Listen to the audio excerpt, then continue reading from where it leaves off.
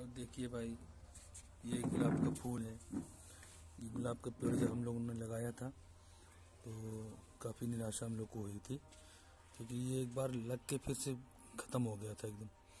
लेकिन हम लोग ने हार नहीं मानी और इसको कंटिन्यू किए।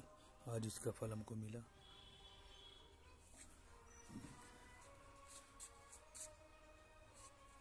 देख लीजिए भाई। इसलिए कहते हैं कि मेहनत और लगन ज़रूरी होनी चाहिए। हार नहीं माननी चाहिए। हार मानने से कभी कोई फल नहीं मिलता। ये देखिए, ये भी एकदम से ख़त्म हो गया था। लेकिन आज अल्हम्दुलिल्लाह ये भी एकदम तैयार है। ये भी देखिए, ये भी एकदम तैयार है।